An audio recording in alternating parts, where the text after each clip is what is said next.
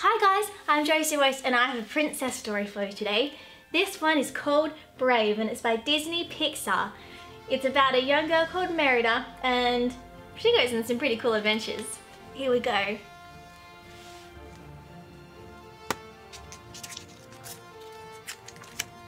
Long ago, there was a kingdom called Dunbroch nestled in the Scottish Highlands. Though the kingdom was young, the land was ancient a place full of stories and magic and danger. King Fergus and Queen Eleanor had brought peace to the warring clans of the kingdom.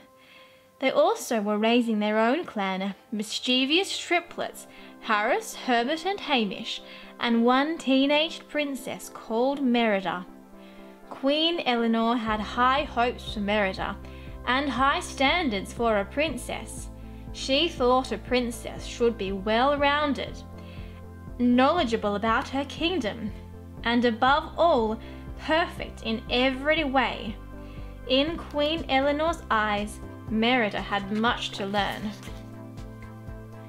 Her mother's opposite, Merida lived for her rare days of freedom, where she could grab her bow, climb onto her horse Angus, and spend the day in the forest. Merida was a skilled archer and rarely missed a shot. One day, Merida returned to the castle to find her family at dinner.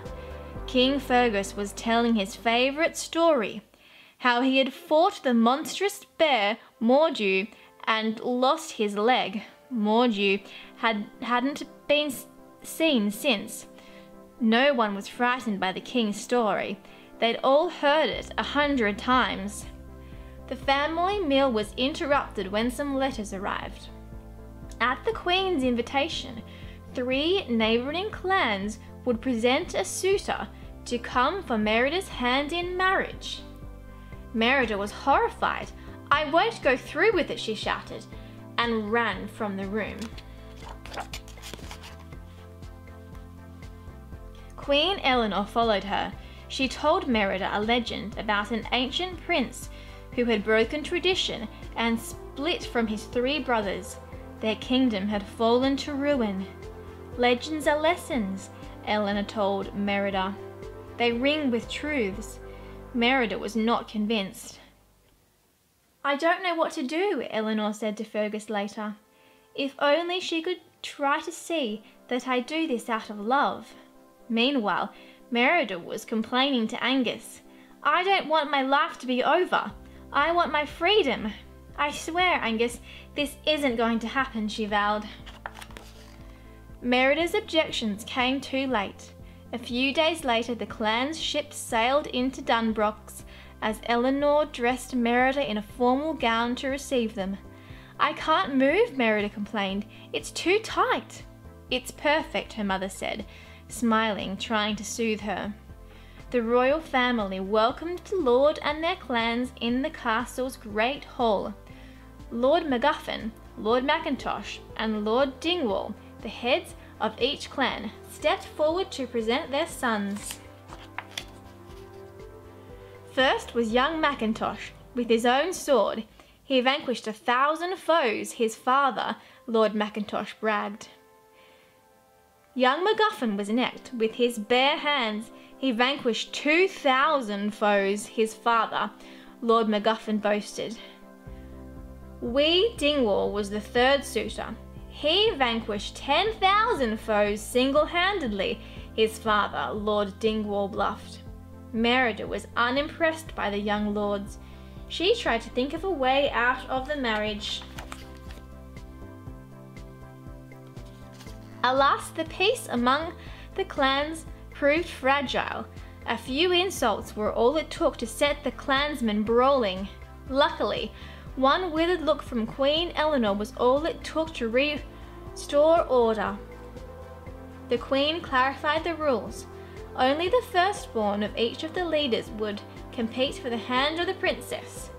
The princess herself will determine the challenge. Firstborn Merida's eyes lit up as an idea formed in her head.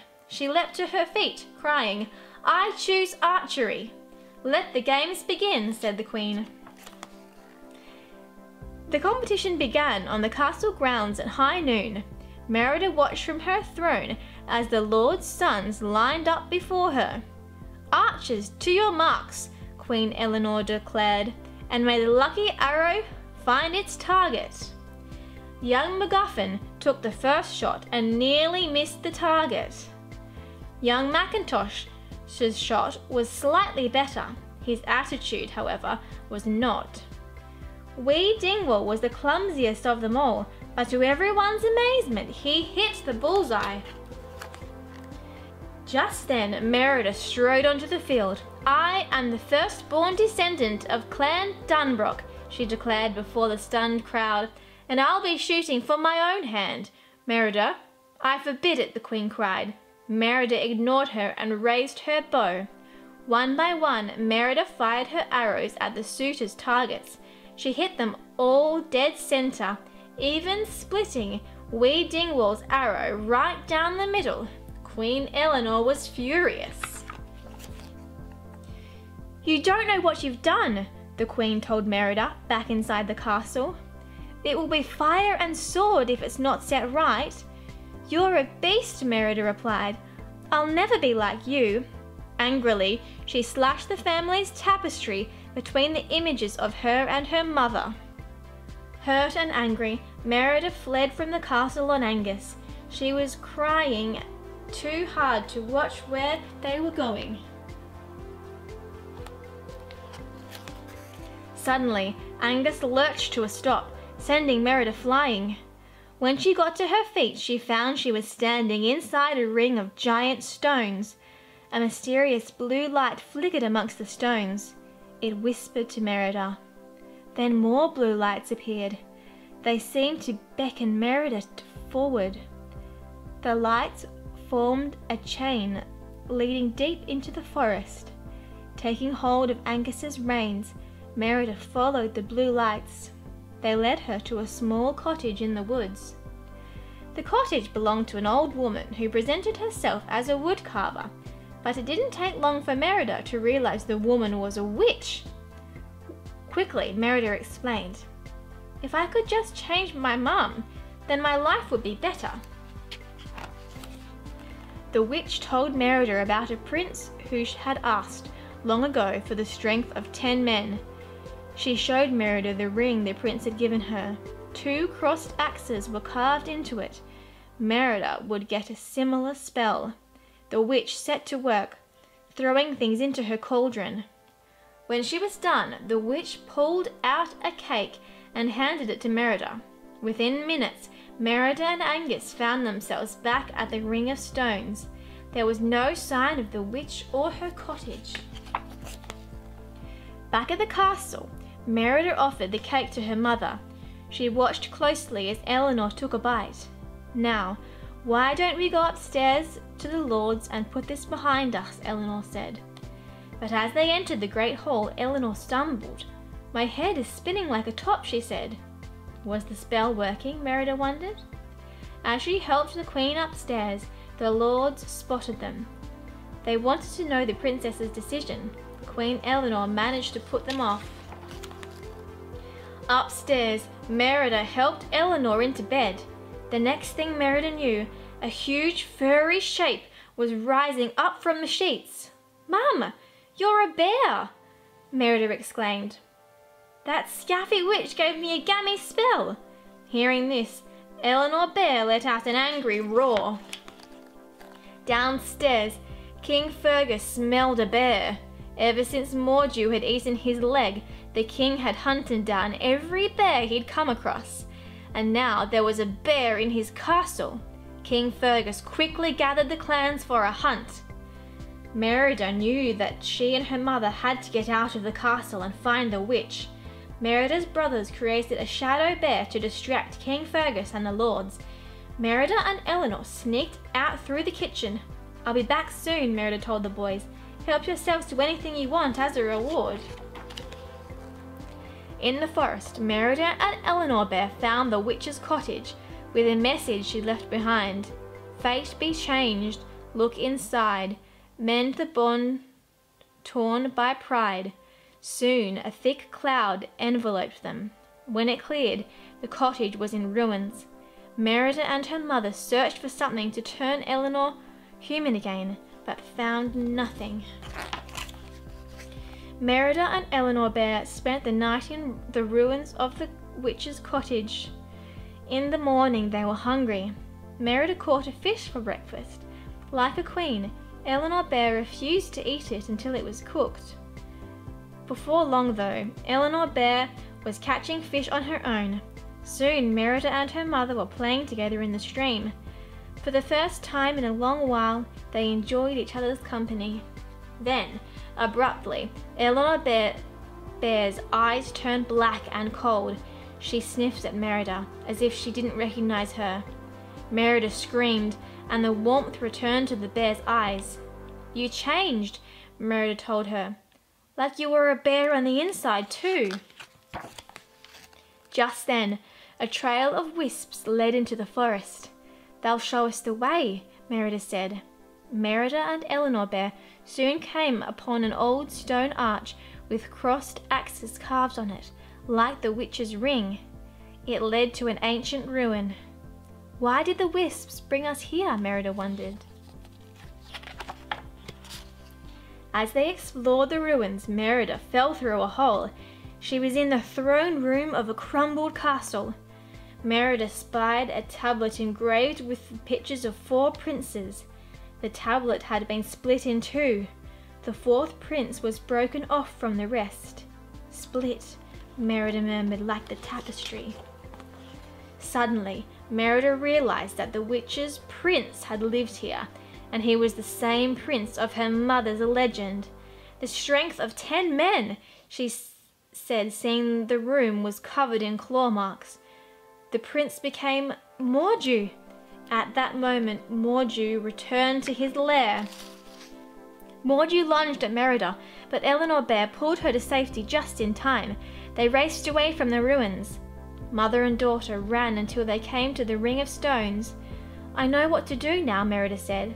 She had to find the family tapestry and mend the bond torn by pride. Together, they returned to the castle and climbed up an old well. Inside the great hall, they found King Fergus, the rest of the clans, and the clansmen locked in battle, all because of Merida. Merida looked to her mother for help. There was nothing Eleanor Bear could do. It was up to Merida to stop the fight. Merida marched into the center of the room. She was just about to agree to marry one of the Lord's sons when, from the shadows, her mother stopped her. Eleanor Bear mimed that she wanted Merida to say, The Queen feels that we should find love in our own time, Merida translated. A great idea, young Macintosh exclaimed. The other Lord's sons had agreed. They too wanted to be able to choose their own fates. Everyone cheered. That settles it, Lord MacGuffin said. Let these lads try to win her heart before they win her hand. With the clans out of the way, Merida and her mother hurried upstairs to get the tapestry. But Eleanor started acting more like bear again. Just then, Fergus entered and saw the bear. No, cried Merida. It's not what you think. Fergus wouldn't listen. He slashed at the bear, who struck back, knocking him to the ground. The commotion drew the lords and the rest of their clans. Mum, run, Merida cried. Eleanor bolted away with the men in hot pursuit. Merida tried to explain to her father what had happened, but he didn't believe her. He locked her in the tapestry room for her own safety and gave the key to Maudie the nursemaid. When he set off to hunt the bear, Merida was desperate to get out. Through the window in the door, she spotted three little bear cubs. They were triplets. They'd eaten the rest of the magic cake and turned into bears too. Get the key, Merida told the cubs. The triplet cubs chased Maudie. She was so scared it didn't take long to get that key. Meanwhile, a terrified Eleanor Bear was running from the hunters. She only passed a bit to see if they were gaining on her. Indeed, Fergus and the lords were closing in on the bear. They picked up Eleanor Bear's tracks and picked up their speed. Freed by the triplets, Merida grabbed the tapestry, along with the needle and thread. Merida and her brothers climbed onto Angus and raced into the forest to save their mother. As they rode, Merida mended the tapestry, while the bear cubs steered. Ahead of them, a group of wisps gathered. Merida urged Angus forward. She knew the wisps would lead them to her mother. At that moment, Fergus and the lords cornered Eleanor Bear in the ring of stones. They caught her with ropes and tied her down. The king raised his sword to the bear. Suddenly, to his surprise, Merida stepped in front of him. Are you out of your mind, lass? Fergus exclaimed. Gathering all her strength, she swung her sword and chopped off Fergus's wooden leg. Suddenly, another bear stepped into the ring. Mor'du, Merida said with a gasp. The lords ran forward to attack the giant bear. Mor'du swatted them away easily, then he grabbed King Fergus and tossed him aside too. Mor'du closed in on Merida bravely. Merida raised her bow and arrow, but Mor'du loomed over her, going in for the kill. With a deafening roar, Eleanor Bear threw off the ropes that bound her. She charged at Mor'du. Eleanor Bear shoved Mor'du away from Merida. After a vicious battle, she pushed Mor'du against a cracked stone. The stone toppled, crushing Mor'du beneath it. In the silence that followed, a single wisp rode from the fallen stone and flew away. The ancient prince's soul had joined the wall of the wisps. Merida draped the mended tapestry over her mother, but nothing happened. Merida watched as the bear's eyes turned cold and black. I want you back. I just want you back, Mum. Merida said, throwing her arms around Eleanor's neck. I. I love you. Merida felt a hand brush her hair. She looked up and saw her mother smiling down at her. When their bond was repaired, the spell had been broken. Eleanor had changed back into the queen. The triplets, too, had turned into boys. The whole family was happily together again.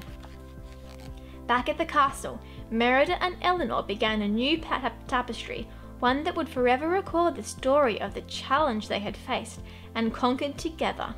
Later, they watched as the clan sailed for home.